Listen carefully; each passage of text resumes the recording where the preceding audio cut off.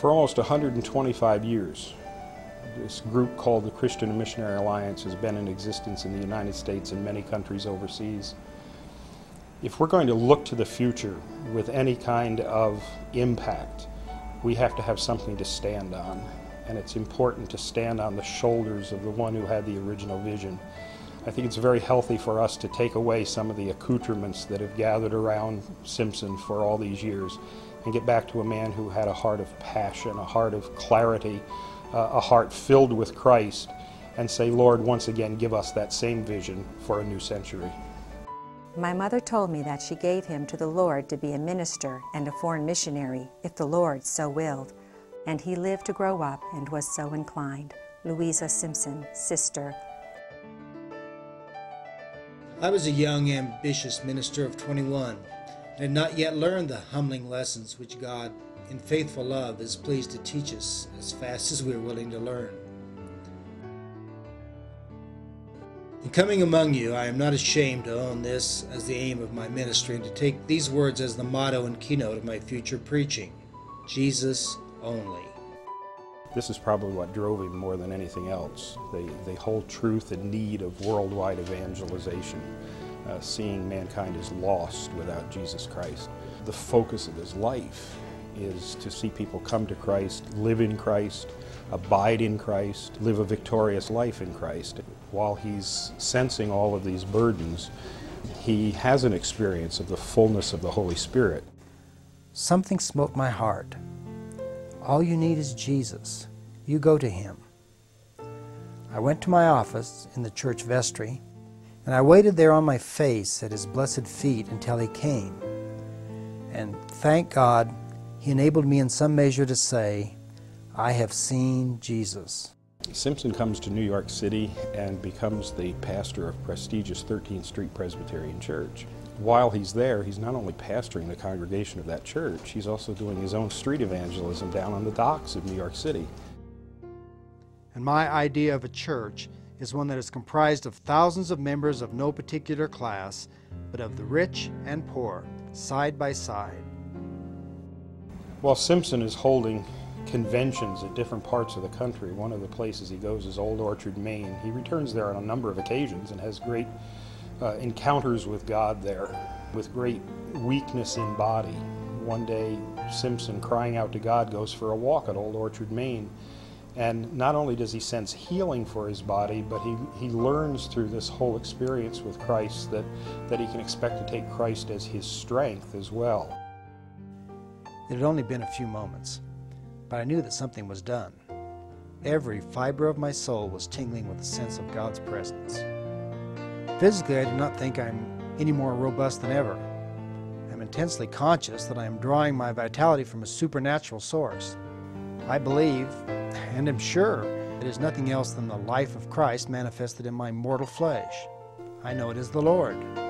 So Jesus is not only healer, Jesus is also health.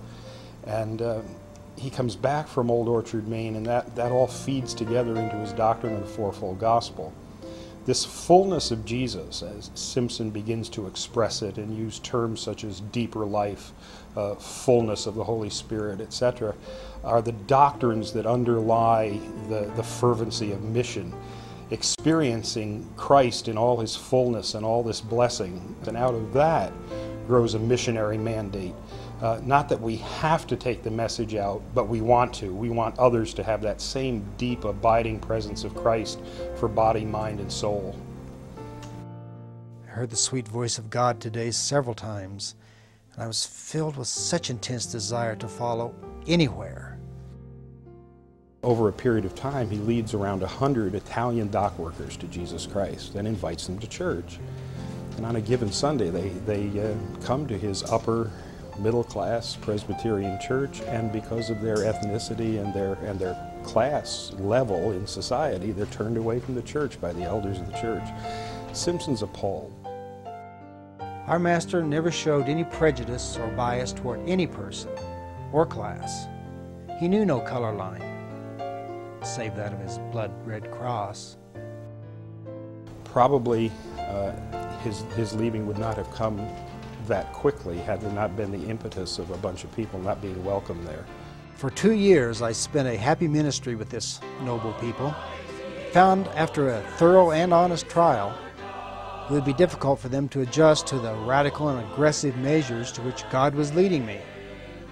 What they wanted was a conventional parish for respectable Christians. What their young pastor wanted was a multitude of publicans and sinners. Simpson takes that as a vision from God to resign this prestigious pastorate, being paid in the 1880s $5,000 a year, a very prestigious and, and, wonderful salary for a pastor, and breaks out on his own and founds what will later become the Gospel Tabernacle because he wants doors open to human beings. I remember well the cold and desolate afternoon years ago when a little band of humble praying Christians met to begin this work for God. We opened our Bibles. These words were just before us Not by might, nor by power, but by my Spirit, saith the Lord of hosts. We knelt before him there and thanked him that we were poor, that we were few, that we were weak, and threw ourselves upon the might of the Holy Ghost. He has never failed us. After finding themselves in many different locations upon leaving 13th Street Presbyterian Church, Simpson and his little band of followers uh, end up on the corner of 8th Avenue and 44th Street in Manhattan. The buildings that they build there are built with ministry in mind. If we can look back to even the design of the, of the sanctuary that he builds, he builds it so no one's sitting very far from the preacher. He, he, he's into communicating the message of God.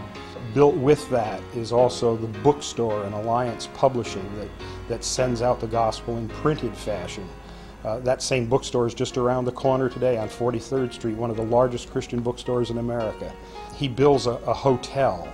Uh, in and out of that hotel or dormitory is where all the missionaries come and go from around the world because they're all going out by ship from New York City. No thought of a denomination as such where we're separate or better than other people, but a, a, nerve center for a movement that's going to move the world. I trust the day will come when we shall count them by thousands in foreign lands. I believe the greatest purpose of God in sending us here, next to preparation for His coming, is to send the gospel everywhere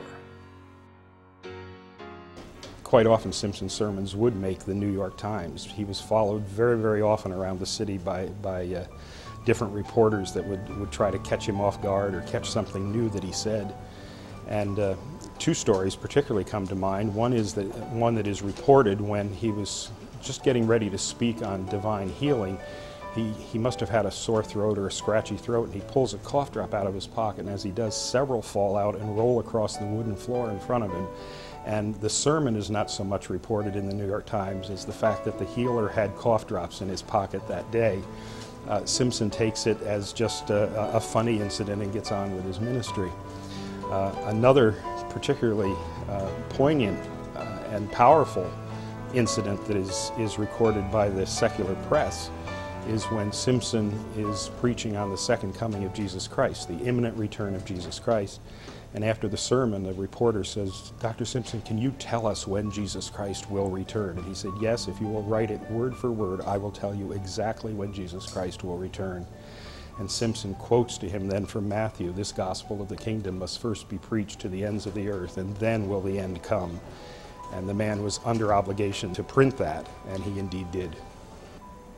When we look at great people of history, the tendency is to put them on a pedestal and think maybe God doesn't work that way anymore. As you look at the life of A.B. Simpson, you find a, a cultured man, but yet a normal man, an average man on the street. As he walked down the street, there was nothing that distinguished him from anybody else in, in Manhattan of, of, of his level of society. And yet there was an anointing upon this man. When he was at home, he was still a doting father, a loving father, letters that he would write from Europe to his wife would be Dear Maggie, and he'd sign them Love Bertie. And, and as he'd reference the children in these letters, he'd reference them by their nicknames or by their, their little uh, toy names that he'd use when he was home. He'd run his fingers through the kids' hair and mess up their hair, much to the chagrin of his daughters when he'd do that to them. Um, there, there's nothing about the man that, that you can say is abnormal or supernormal He's, he's an average believer in Jesus Christ who catches a vision of the fullness of Christ in his life and the fullness of what Christ wants to do in and through any of us who will submit ourselves to him. An approachable, average believer in Jesus Christ, anointed by God.